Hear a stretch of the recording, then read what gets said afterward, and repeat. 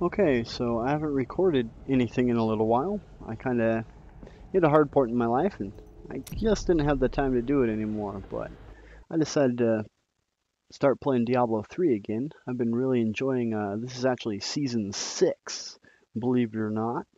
Um, I posted, shoot, a couple years ago about when the public test realm for the first one was starting, right before the first season kicked off and I was trying to get a bunch of my friends into it, but they either play on console or if they are playing on PC, they're playing Warcraft, which is kind of lame, or they're playing Dota.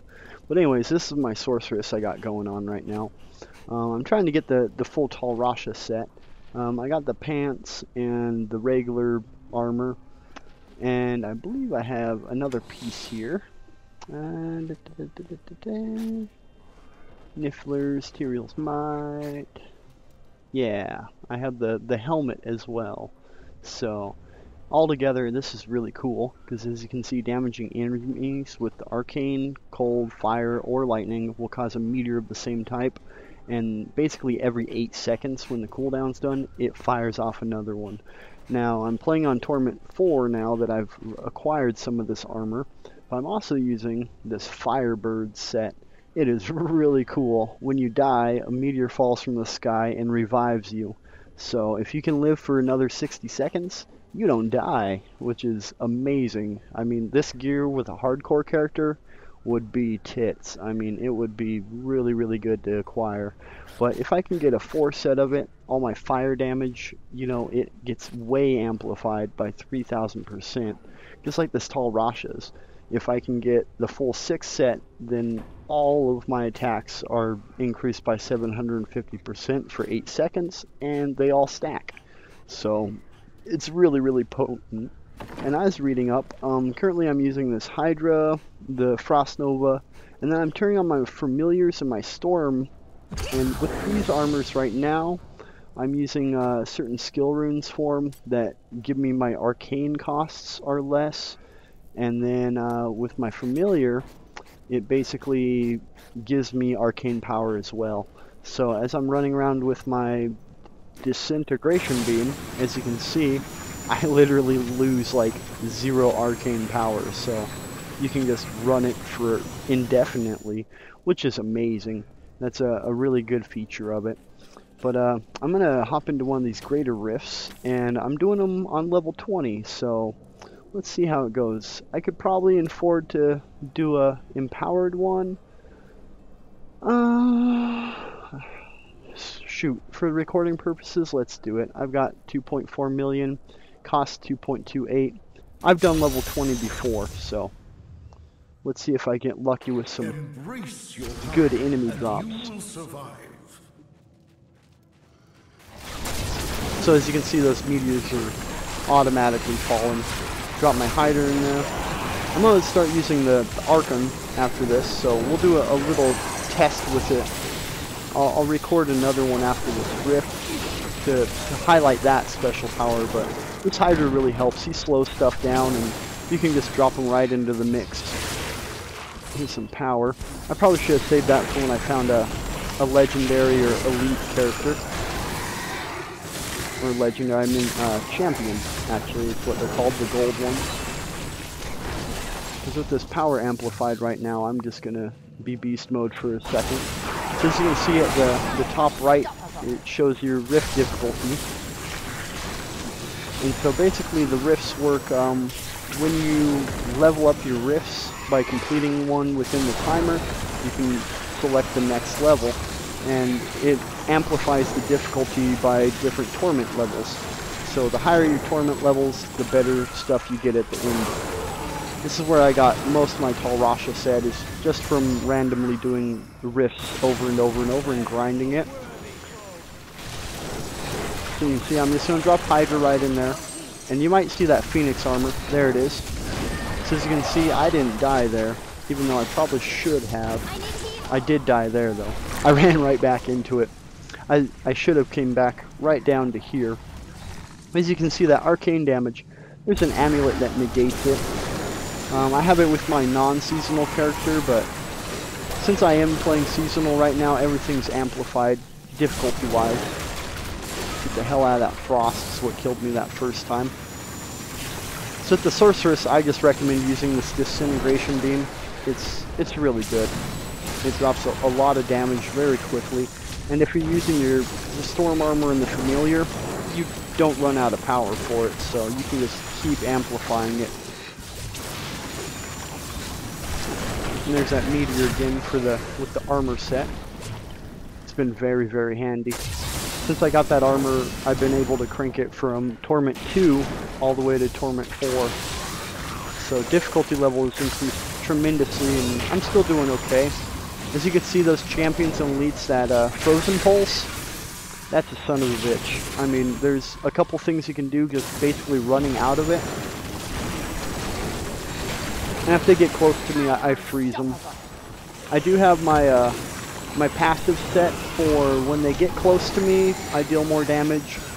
And then I believe there's something else that when they're frozen, they receive more damage. So using the Hydra works good for that. And then using, of course, the Frost Nova itself does the instant freezing. And if they're close to you when you freeze them, which they'll have to be to use the Frost Nova, you just start rocking them. See that damage increase right there? Start dropping some meteors and stuff on them too with this Tal Rasha set. So, a lot of my friends, they play World of Warcraft for the, you know, the open world stuff. I mean, that's cool, the exploring stuff, but there's so many enemy type combinations and things. This game always feels fresh. And you can always just pick up a new class and start a, a different play type. Like I have a, a very high level Witch Doctor who runs on Torment 4, Torment 5 difficulty. And he's really fun to play with. I mean, you run around with friggin' all kinds of familiars and stuff. I'll, I'll show him to you as well. This is just uh, what I've been playing with here the last couple days. So I, I was just going to highlight a little bit. Um, techniques and stuff for this class is I run with the Templar. He's more of a get right in their faces and cause some stuns. As you can see, there's that ice ball just dropped in there and rocked him. So as soon as you can get the Tal Rasha set, the better. So far, it's it's one of the sets that I really enjoy, just for the sheer fact of damage dealing. See right there, those two meteors alone just ended that guy.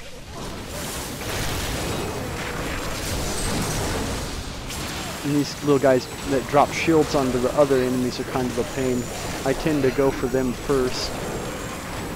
And then concentrate on the, the other guys actually trying to get in close and deal damage.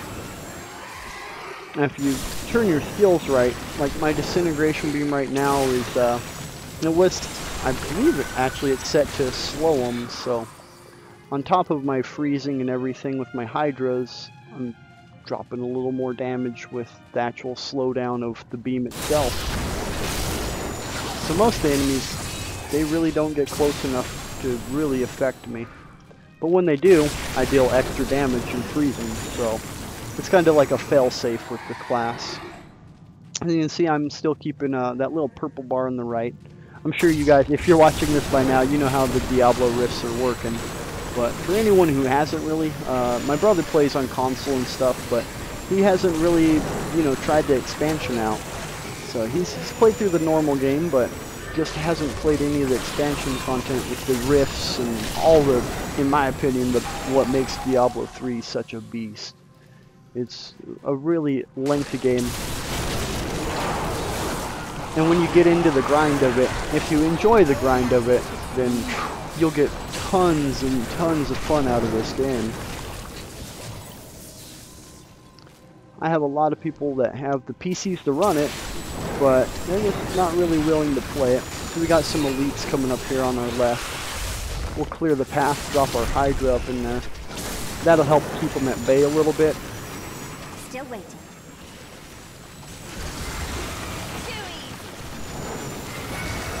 So they can they can pull their armor back, but as you can see, the, the disintegration beam, if you get some some armor and things that affect its damage type, then I mean even just like a 10% boost on it, it makes it incredibly powerful. So out of all the, the skills attack-wise the sorcerer has, this is by far one of the most devastating attacks. When he got close, I just used my Frost Nova and slowed him down again. And dropping all these lovely purples for us. Let me drop this real quick. I know it takes a little time, but it's worth it. As you can see our bar, I'm still ahead of the clock. Whoop. See if I can get out of this situation. And I am using uh, the electrocute because when they wall up like that, it actually goes through the wall, as you can see there. So the wall may stop my beam from affecting these guys, but it's not going to affect my electrocute damage from getting to them. Need more time. Drop a Hydra right in their face. He'll give me some extra extra protection, I should say. That was actually close. I thought my, my Phoenix was going to have to save my ass there again. So all in all, I've, I've actually never started a hardcore character. I just, I mean, I can understand the challenge, and you get a lot of the cooler gear that way. But, you know, tell the truth, when you die and you lose a character that you have, you know, 30 plus hours in, it's just, it makes you kind of not want to play a game anymore. So, I always stick with the, the regular characters, non, non-hardcores. It's hardcore enough for me. I can always crank the difficulty and make it ridiculous hard on myself if I want to. So, that's one of those things too where it's, I enjoy this game for the sheer fact that if you play it enough and level your characters and get your gear rolling, that's really when you can turn up your torment levels is you'll get to torment one after you get to your max level character. And then basically from there it's all about the gear you collect. Like this Tal Rasha set I just picked up it's enabled me to go up two more torment levels so it's made the game increasingly good so you can see these guys have, you know, 33 million for a normal guy. Uh, this Rift Guardian popping out, he's going to have anywhere from like 500 million to, I've almost had one at, at almost a billion. There's a special one you get an achievement for. One of the developers of the game actually has a, one of the Rift Guardians named after him. But he has almost a billion HP, so he's real fun to battle just because it's a, a nice length to it. As you can see those meteors, my god. And especially if they're dropping arcane damage. Because arcane damage affects so many of these guys so, like, a lot more, like, than the fire or the ice. I, in my opinion, arcane damage is the one to crank. Seems to affect a, a lot more variety of enemy types. And it seems to do a hell of a lot more damage than a regular fire or anything. I know the fire can increase that the burn chance, which is really cool. When you ignite the enemies. Like that Phoenix armor. If I get enough pieces for that and actually start using fire effectively, it could be really cool. There's a skill set for this disintegration beam where you can change it to fire type damage, so I'm sure in combination it could get really powerful.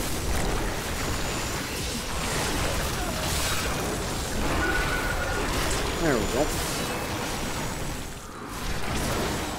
So as you can see, the sorcerer is kind of a, a clean sweep type of person, holding the back, slow the enemy as much as you can.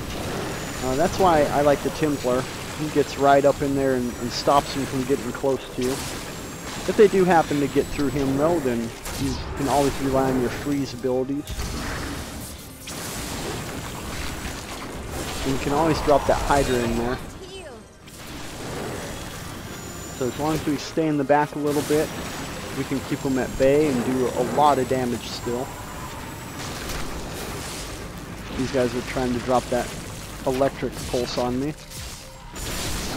I've got some gear that negates the lightning damage though, so all the shock and stuff that they're dropping, I'm really not too afraid of. Uh, the arcane beacons really hurt, and that frozen pulse. It causes a, a lot of damage on higher difficulties. to think the world is safer now. You're almost not working.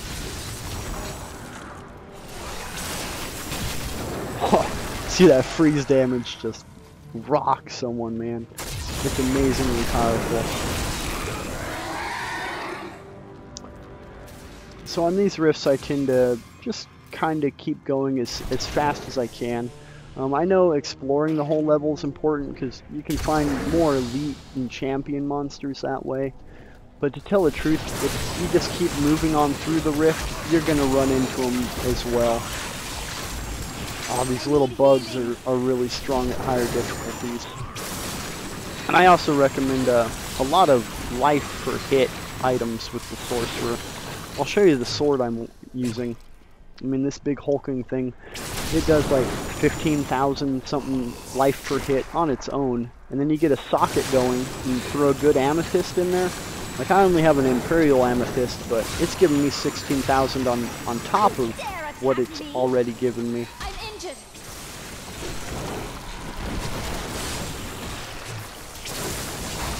So these bugs being in here, I'm going to try to knock them out as soon as I can. Because those, as soon as their little babies hit you, they're, they drop a lot of damage. But basically all the other enemies in this area so far are real nice and friendly. Freeze them, get my Hydra up in there. You can see those meteors are a lot of damage. There's that Phoenix saving my ass again. And they toasted me. But that's okay. I mean, that's our, our second time, so it's only going to be a timer of five seconds. Um, I was running this earlier without dying, but I did turn on the Empowered Rift, so these guys are going to be a little tougher when it comes to uh, what abilities they do have and do drop. There we go. So as you can see, I'm still well above the timer. And as long as I, I can get the Rift Guardian to drop here soon and kill him before that timer, then I'll get a chance to upgrade my gems four times. Tell the truth, I don't think it's going to happen actually. So that's going to be a bummer if I wasted my, my two million on it. Come on, Rift Guardian, I know you want to drop. There he is. So I've got like, like 40 seconds to get down Stone's Finger here. Let's see if I can do it. So far, it, looks like I'm, I'm going to be able to have a good chance at it. I'm just going to concentrate on him and not move. See he has 700 million health, so... Oh my god. Nope. And that's it. By the time I revive, I'm out. But all in all, pretty good run. I uh, I just wanted to kind of show you guys what the rifts are all about and everything. As you can see, the timer expired. I'm still going to kill this guy, and I'll show you what happened. Uh, I need healing. I'm not going to be able to upgrade my gems this go round, but that's alright. It's not like coming across money is hard or anything. A lot of these rifts, they'll drop you, you know, 70,000 to almost 100,000. There we go. And he still drops a, a lot of cool stuff, so. There's another one of the, the legendary gems. But as you can see, since I ran out of time, I'm not going to be able to upgrade them. But that's okay. We got uh, at 16,000 thorns damage. So that's not too bad. I'm happy with that run. As you can see, we already got 300,000 more out of that run. 100 blood shards. We're going to be able to buy some armor with that and hopefully get more set pieces that way. Would be really, really nice to see. And with this guy being a, a seasonal character, all this stash here, when it rolls over, you get to keep your character, and then they mail all this item to you. So you can go through with your non-seasonal, and you can kind of pick and choose what you want to toss, what you want to keep. Like this legendary tabs for anything under level 70. So if I start another seasonal character, as they're leveling, I'm going to be able to use all these items for them. And then this is all 70 plus. Uh, a lot of good items in here. Uh, a lot of things that you know I, I expected would be a little harder to get. This one was actually just randomly dropped for me. It's cool for the grasp of the dead damage. And if you're running the seasonal, you know you'll have to do a, certain the set armors have their own unique challenges and things behind them. So for example, with my Witch Doctor, I had the Zunimassa set, which it, you unlock as you play through the season, which is a really cool feature. It's something fresh to have a brand new character anyways, but as you level and do different things, you'll acquire really cool stuff and special set. So as you can see, this sword right here is really good. I actually picked it up with my Witch Doctor, and it works great for my Sorcerer, so I've been using it. But it has a chance to freeze on hit, which is a big plus. Great intelligence boost, and then life per hit. I mean, 25,000 plus the 16,000 from gem. I mean, you can just sit there and boost on things, and you hardly die. And this is actually pretty cool. It drops a Poison Nova, but I liked it because it had that life per hit, and then it did not only lightning skills, but some more fire damage taken. So I don't know if that 8% more fire damage taken, I think that's a negative effect actually. I've actually never seen, you know, a set item that has something weird like that, that is actually bad for you to have, but it's not bad. I mean, a lot of enemies don't use fire too much. Um, the molten stuff really does use a lot. But I'm going to try to get the this Firebird set, and I'm also going to try my best to get the rest of the Zunimassa, uh, some boots. So let's go ahead down to Kadala after we Your valor is yep, check in. So we got some 762,000 and we also got some XP out of it. So win-win, got another Paragon level. I'm dropping in a resist all right now. Uh, my core, I'm using movement speed because I like to run a little faster. In general, it helps get out of the frost range and all that stuff. Uh, critical hit damage, and then defense, resist all, of course. And then I like life on hit, so I'm just pumping more into that. But let's see what Kadala gives you us. look like you could use a new item of, uh, indeterminate Okay, boots. Don't forget, luck always changes.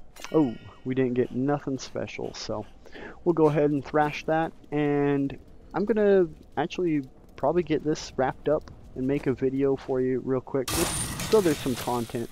I haven't posted in, I think, almost over a month now, so I just had to get back into the rhythm of it. And I've been playing Diablo 3 a lot, so thank you guys for, you know, stopping in and stopping by and enjoying all the, the coolness with me.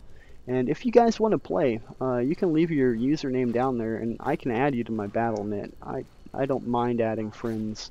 I mean, then you can see when I'm playing and shoot, jump into my games would be really fun. If I had enough people playing, I might just change this from private to open. So, hope you guys have a good day, and I'll talk to you later.